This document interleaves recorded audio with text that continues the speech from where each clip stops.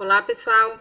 Isso aqui é para vocês verem que a gente não pode se enganar com o desenho do CleanCheck, né? O desenho é muito bonito, mas muitas vezes a gente se engana com ele, por isso a gente precisa entender sobre a tabela de movimentos, que eu tanto falo. Olha só, o dente 45, ele é pilar de uma prótese e eu resolvi que nesta, nesta fase do tratamento eu não quero movimentá-lo, porque eu não quero mexer na prótese. Então, eu vou, eu vou deixar esse dente sem movimento. Então, aqui, ó, botão oposto do mouse, deixe sem movimento.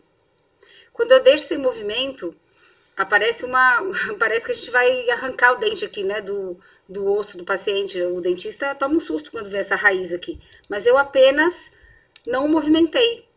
Então, é uma eu, é, eu não estou fazendo movimento nenhum. Esse dente não vai correr esse risco de acontecer isso.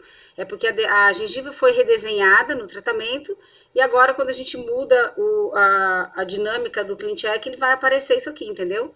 Mas não é motivo para se assustar. A gente precisa é, focar aqui, ó, dente 45 completamente sem movimento. 46 também, 47 também. Então, quando a gente tem prótese fixa, como a gente tem aqui nessa situação, a gente precisa ver se vai fazer, vai seccionar a prótese para movimentar separadamente, ou se a gente vai pedir que esses dentes não se movimentem ou que se movimentem como uma unidade única, como se fosse um dente só.